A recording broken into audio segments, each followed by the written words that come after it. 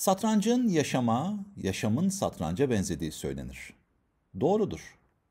Satranç tahtasında öyle konumlar, öyle durumlar gelir ki oradaki çaresizlik bazen hayattaki çaresizliğe benzer. Şimdi öyle bir oyun göstereceğiz ki siyahların elinde bir sürü taş var, imkan var ama çare bulamıyor. Hadi gelin izleyelim. E4, E5, at F3, at C6. Fil C4, İtalyan açılışının belirleyici hamlesi. Hem bir gelişim hamlesi hem de hassas F7 karesine bakıyor. Siyahlar at F6 oynadığında iki at savunmasına girmiş olur ve adı elbette siyahların iki atını çıkmasından geliyor. Beyazların burada at G5 gibi bir hamlesi var F7'ye saldırı için. Siyahlar buna D5 yapmalı.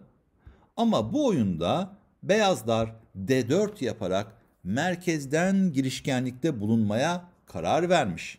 Hemen tabi tehdit şu anda D alır E5. Siyahlar bunu umursamayıp file 7 çıkarsa, D alır E5'e at E4 yaparsa bu sefer korunmayan taşa bakalım. Birle istenen birle korunan taşa bakalım çünkü fil istiyor. İki tane hedef var. Bir taşta iki kuş vurmak için vezir D5 oynarız ve oyunu kazanırız. Beyazlar atını kaçıp F7'yi tutsa da fil alır G5'ten sonra savunma taşı ortadan kalkar ve F7'den mat istenir. Beyazlar kazanç konumdadır. Ama oyunda yapılması gereken hamle yapılıyor ve E alır D4. Rok beyazlar gelişime devam ediyor ve şimdi siyahlar da filini çıkıyor. Fil C5. Sadece filini çıkmakla kalmıyor. Aynı zamanda D4 piyonu da korumuş oldu. Beyazlar piyon feda etmiştir. Ama bunun karşılığında gelişimde biraz iyi, rakip şah ortada ve saldırgan oynamalı. Üstelik hareketli merkez piyonuna sahip. E5. Piyon tehdit yaratarak ilerliyor. Şimdi at ne yapacak? Atın G4'e gitmesi halinde fil alır F7 şah. Şah F7. At G5 şah çekip G4 atını almak gibi fikirler var. Siyahlar zor bir karar veriyor ve en iyi hamleyi tahtada buluyor. D5 sürmek. Yani bir karşı saldırı.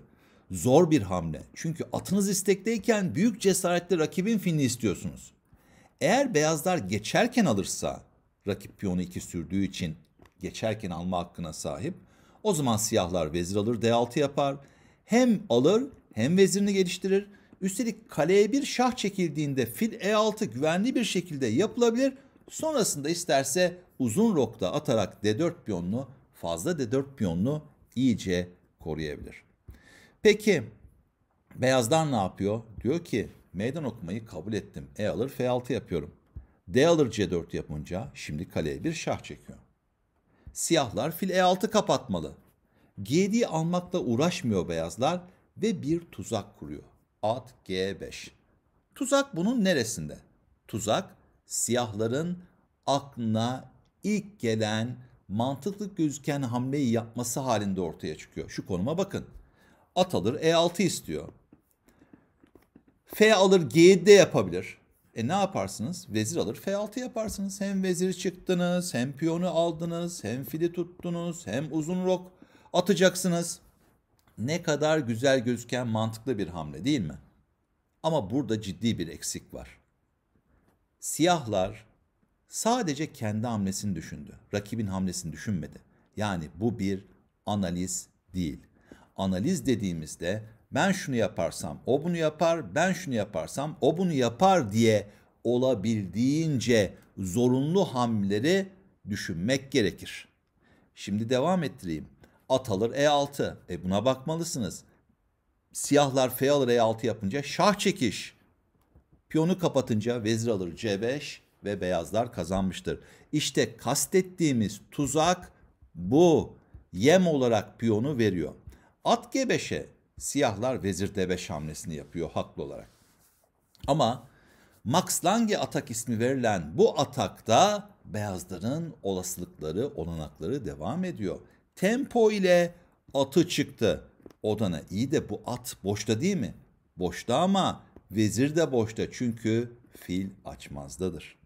Fırtına gibi geliyor Max Lange atakla beyazlar. Bu atağı öneririm. At C3'e şimdi siyahlar vezir F5 oynayınca hop at C E4 geliyor. Atını kuvvetli bir şekilde merkezleşti. G alır F6 hamlesinden sonra G4 hamlesi beyazların başı, siyahların başını derdi sokar. Çünkü aldı, aldı, aldı ve at alır C5 açarak şah ve hatta at F6 çifte şah at ve kaleyle sonra fili almak gibi fikirler var. Siyahlar bu durumda uzun rok atmalı tek şansı. Bu durumda Capablanca ile Marshall'ın bir oyunu var. Düzeltiyorum. Marshall beyaz, Capablanca siyah. Orada Marshall G4 sürmüş. Alması halinde değişimden sonra fil boşta kalacak. Capablanca vezire 5 kaçmış. At alır E6, F E6. F alır G7. Vezir piyonu alamaz yine. Çünkü fil boşta kalır. Kale H G8 yapınca fil H6 ve beyazların rahat bir oyunu var. Evet şahın önü açıldı gibi ama çift kat duvar var burada. G hattında vezir F3 oynayacak. Yanlış hatırlamıyorsam Marshall'ın kazandığı oyun bile var. Evet. Şimdi geriye dönelim. Burada efendim uzun rok atmıyor. Fil F8 oynuyor. G7 piyonunu korumak için ve fil boşta kalmasın diye. Beyazlar G4 sürüyor. Yine yine bir saptırma hamlesi. Peki vezir alır G4'e ne var? Şah çekti vezir alır G4. Fil G4'e F G7 çatal. Fil G7 alınca at F6 şah ve ardından G4'teki fili alıyor. Evet. Şimdi G4'de siyahlar vezir D5 oynamış ve burada beyazlar bombayı patlatıyor. Evet, siyah şah ortada ama etrafında da çok taş var. İki fil, at, vezir. Merkez simsiyah gibi bir şey olmayacakmış gibi gözüküyor. Ama hiç beklenmedik bir hamle geliyor. Düşündüyseniz videoyu durdurup hamleyi gösteriyorum. Beyazlar siyahları belki de en güçlü noktasından vuruyor. Hamle at alır F7 ünlem. F7'ye fedalara hep bakılır ama bu durumda fil koruyor, ardından vezir koruyor ve şah koruyor burayı. Bu sefer üçlü bir koruma var gibi. Heyhat. Fil alır F7 yaptığında at C3 şah çekiyor. Açarak şah ve aynı zamanda vezir istiyor. Veziri kapatsa da kale alır ve kayıp. O olmaz. Seçenekler azaldı. Siyahlar şah alır F7 yapıyor. Şah F7 yapınca at G5 şah. Şimdi ne yapacak? Ee, bir anda kalenin potansiyel gücü etkili bir şekilde ortaya çıktı. At G5 şah. Şah yuvaya girsin bari diyor. Ortada bulunmasın. F7 sürerse Allah'tan fil F7 var. Peki başka bir hamle var mı?